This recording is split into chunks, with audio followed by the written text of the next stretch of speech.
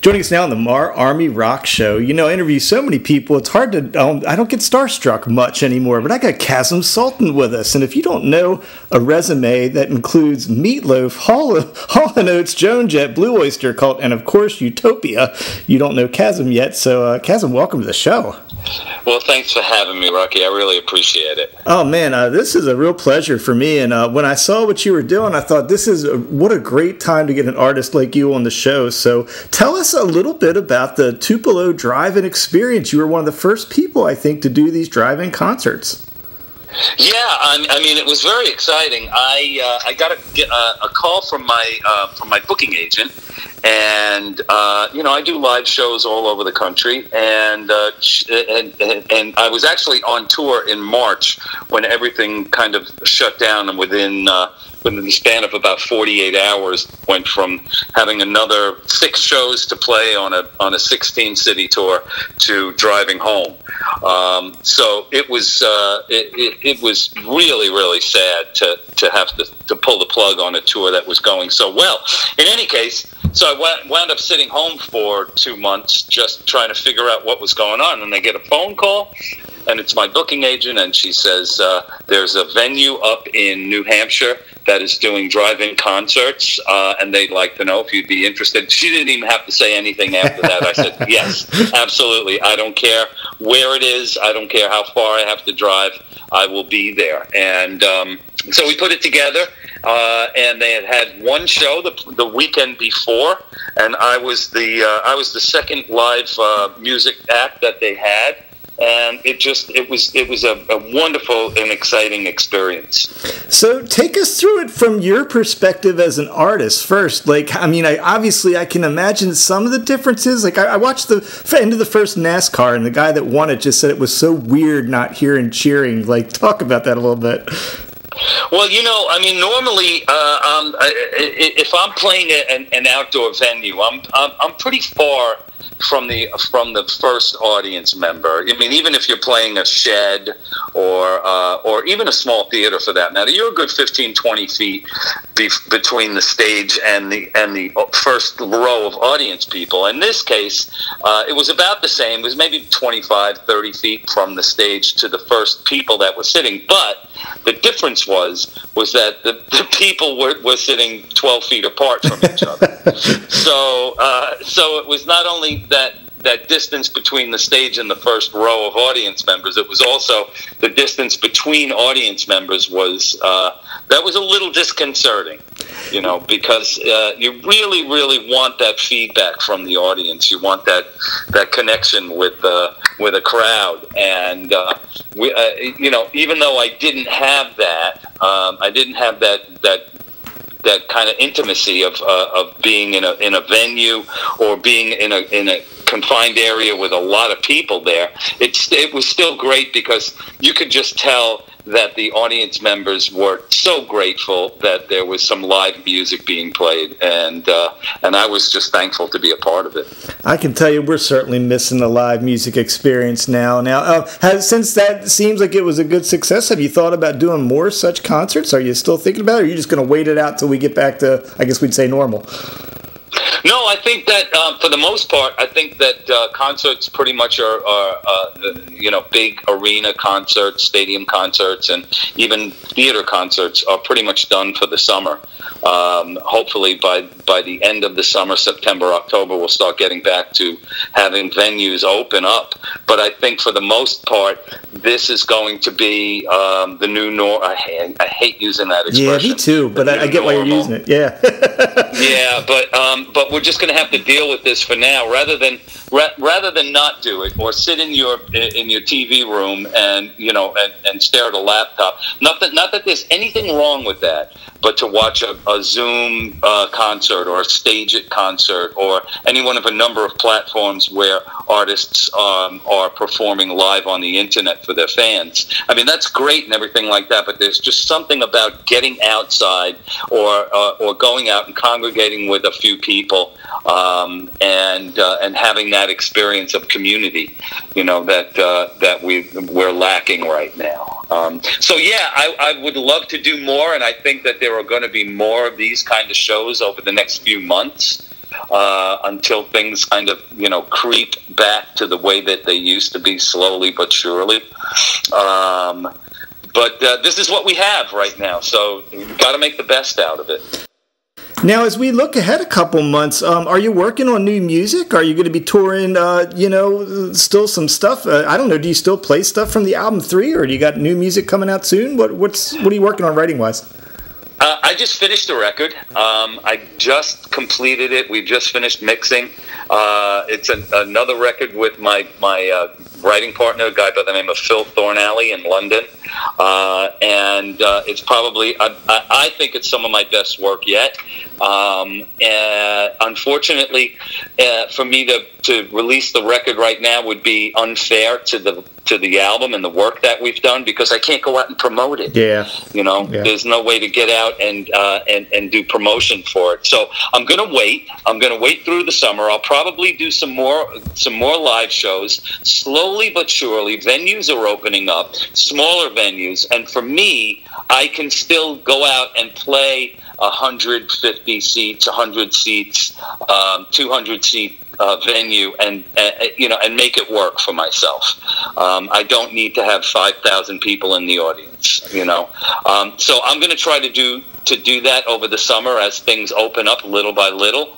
Um, and I'll be doing some stuff from the new record in in my next shows, uh, and that's you know that's what I can do. That's about all I can do right now. So uh, I, you know, I'm 53. I've been listening to you as long as I've been listening to music. So I'd love to ask some historical kind of questions here, for sure. lack of a better term. Now, when I was growing up, the first band I ever discovered were the Beatles, and the second was Utopia.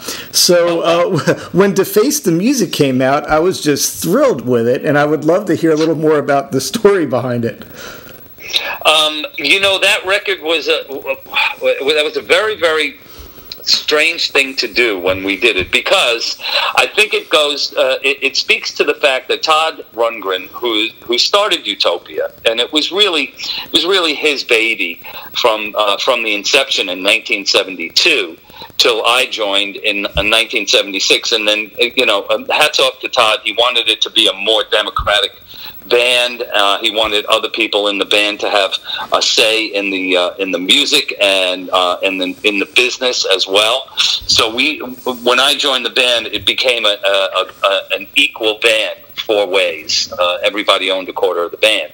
Um, however, it was still Todd's band and uh, and so we had the record prior to um, to deface the music was uh, Adventures in Utopia. It was a huge record for the band.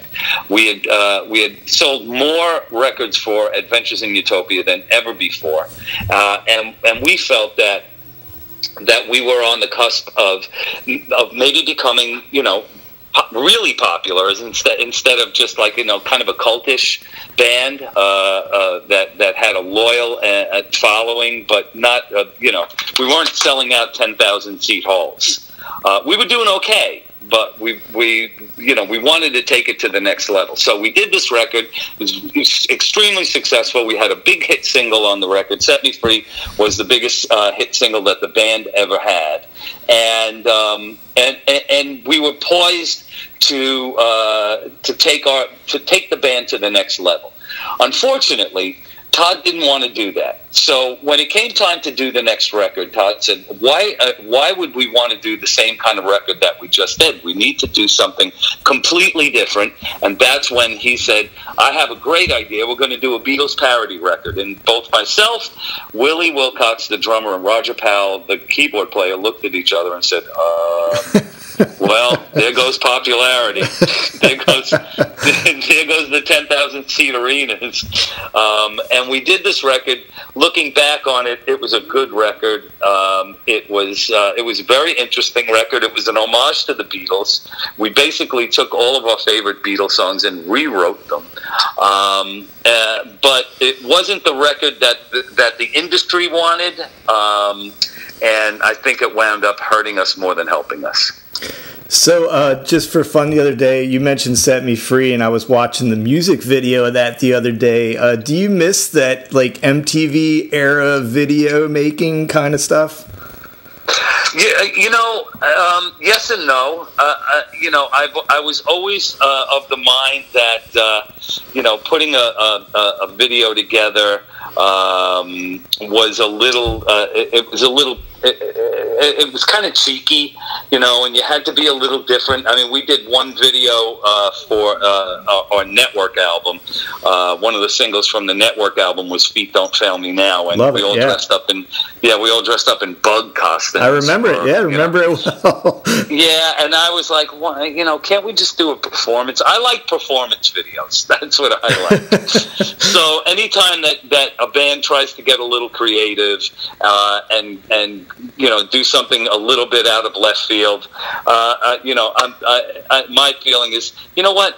Save that for uh, for Scorsese movies, or you know, or, or uh, something that has a little bit more artistic meaning. Because we're just a rock band, and we're just trying to, you know, trying to promote the music along and putting some some images along with the music. And uh, you know, I I, I, I just I, not that I have a problem with videos, but uh, I, I, I'm of I'm of the mind that just set up somewhere, play the play the song, sing it, let us see that, let the audience see you doing that. That's all your thanks. See you later. Goodbye.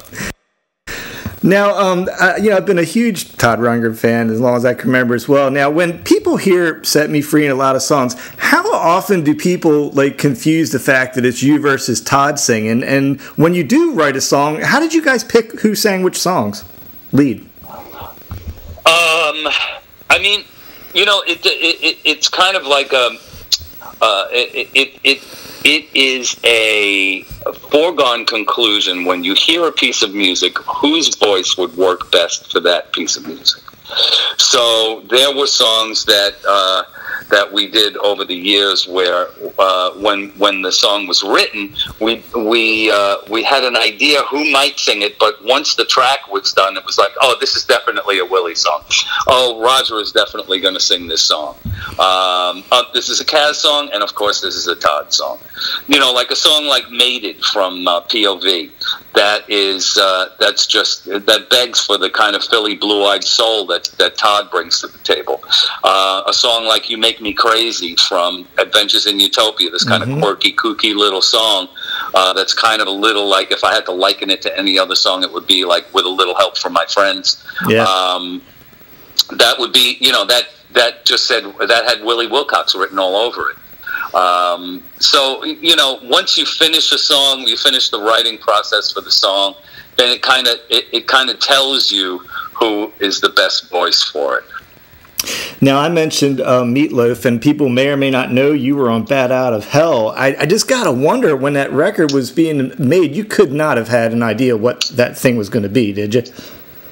No, um, as a matter of fact, when, when when we started working on that record, I, um, I, I, my, you know, my mouth was open the whole time. I just could not believe that somebody was was writing these the, these kind of songs, these epic, um, you know. Well, I think Bat Out of Hell is like eleven minutes long.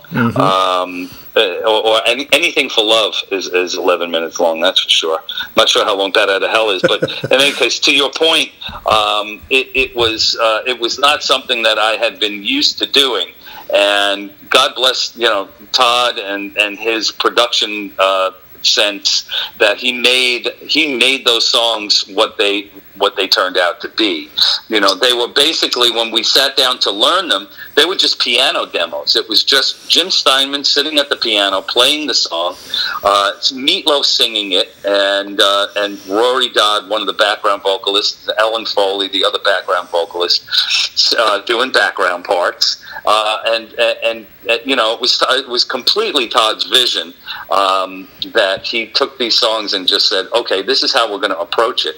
Now, when we finished that record, I, I, I thought for sure that I would never hear it again, ever in a million years. And now, and and I tell the story that about a year and a half after I after we finished the record and it was released, uh, I was in uh, I was in a car I was in my car driving from New York City up to Woodstock to start a Utopia record or Utopia tour, and I heard something that was vaguely familiar on the radio. I, I and I couldn't put my finger on where I heard it until about a minute and a half into the song, and I said, "Oh, I know what that song is. That is the song that I played uh, on on the record. I played on that record. Oh, isn't that great? Those guys got their record on the radio. That's so wonderful. I feel so grateful for. Uh, I'm I'm so happy for them. What a wonderful thing. And now, uh, something like 46 million records later, you know, uh, that's one of the classic albums of all time. Uh, I'd like to just ask you one or two more things. I know your time's valuable here, but um, hey, uh, you played also with uh, just your connections to some of my favorite artists. I've been a huge Joan Jett fan my whole life, Baltimore uh-huh. native. Um, just how did that come to be? How'd you hook him? What was the experience like working with Joan? Uh, you know, I love Joan. Uh, she was absolutely a pleasure to work with. Um, she uh, was she was completely focused on what what Joan Jett music is, you know, and it's this kind of punky, uh, attitudey uh, rock, he- you know, not not heavy rock, but hard rock. Um, and uh, and she, it, it, whenever we went on stage, whenever uh, any tour, any gig, she gives 120 percent. Um, I just, uh, I, I was introduced to Joan through my friend Tommy Price, who was a, a, a drummer, um, and was uh, was thinking about joining her band at the time. Joan needed a bass player. I happened to be between gigs, and uh, I just uh, I, I, fell into it, and I wound up spending about three and a half years with with her, and it, it was just it was a really really wonderful time playing with Joan.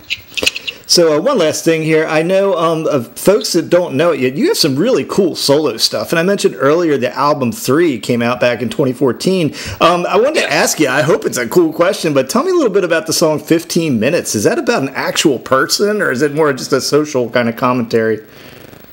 Well, you know, back in uh, in the um, in the mid 2000, like 2005, 2004, 2005, 2006. Um, it was the, the onslaught of uh, of reality television shows, and uh, and especially like a Paris Hilton, uh, who basically became famous for uh, for nothing. I mean, really, she really was. She really didn't contribute anything to society to become famous for. She didn't write a book. I mean, maybe she's written a book since. I don't know. She was, Probably. She's not a recording. She's not a recording artist, although maybe she's recorded a song or two. Um, but basically, she was just famous for being famous. you know what I mean? Yeah. And uh, and back in the '60s, um, uh, uh, Andy Warhol uh, made a comment that uh, you know, sometime in the future, everybody's going to be famous for 15 minutes, and and that's exactly what happened. Uh, it took a few years for it to happen, but uh, you know, we uh, cut to the early 2000s and mid 2000, 2010 and on, and there's all you know the Kardashians and uh, the you know the, the Beverly Hills uh, the Housewives and uh, or the Real Housewives and all these shows, these reality shows of people that really aren't famous for anything other than being famous.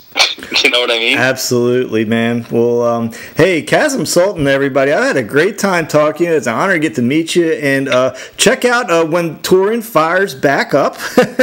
we'll look yes. for Kasim back out on the road again and new music. So uh, thanks so much for sharing the drive-in experience with it with us, and I appreciate you being here. Thank you so much for having me. I really, really appreciate it. Stay safe out there, and I'll see you all real soon.